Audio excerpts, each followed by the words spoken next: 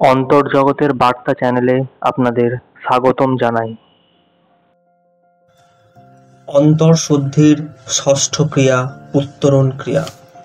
কুটস্থ ক্রিয়া পর্যন্ত গতিক্রিয়া, এরপরে কূটস্থ স্থিতিক্রিয়াকে অভ্যাস করতে হবে।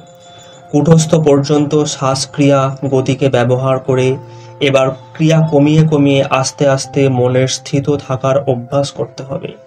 কূটস্থে স্থিত অবস্থা অর্জন করে এবার ওই স্থিতবোধে সহস্রার চক্র ভেদ করে মহাকাশে ওই বোধকে ছড়িয়ে দিতে হবে। স্থিত বোধ বা আমি সত্তাকে ক্রমে মহাকাশে ছড়িয়ে দিয়ে বৃহৎ অখণ্ড বোধে অবস্থান করতে হবে। মস্তিষ্ক হতে মহাকাশে এইভাবে নিজ বোধকে ছড়িয়ে দেওয়াকেই উত্তরণ ক্রিয়া বলে। কুটস্থ পর্যন্ত গতিক্রিয়া ছিল। তারপরে কূটস্থে স্থিতি অর্জন করে এরপরে স্থিতক্রিয়ার দ্বারাই উত্তরণ, অবতরণ ও স্থিতপজ্ঞ ক্রিয়ার অবস্থান করতে হবে। কুটস্থ পর্যন্ত ছিল আত্মক্রিয়া। কুটস্থের পরের ক্রিয়াগুলি হল পরমাত্ম ক্রিয়া পরমাত্ম ক্রিয়ার প্রথম স্তর উত্তরণ ক্রিয়া। দ্বিতীয় স্তর হল অবতরণ ক্রিয়া। ও তৃতীয় বা শেষ স্তর হল স্থিতপজ্ঞ ক্রিয়া।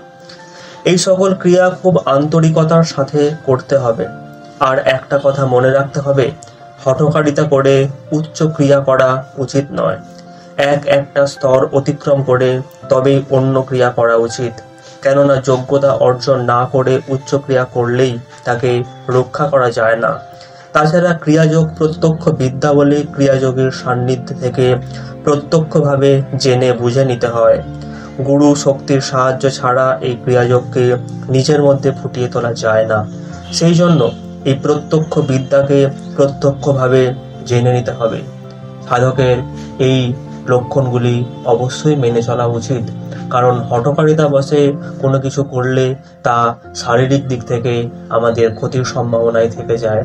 তাই সাধক এই ক্রিয়াগুলি অভ্যাস করে নিজ অন্তরীয় চেতনাকে জাগ্রত করতে পারে এবং আনন্দ ও প্রশান্তিকে নিজ মধ্যে ফুটিয়ে তুলতে পারে।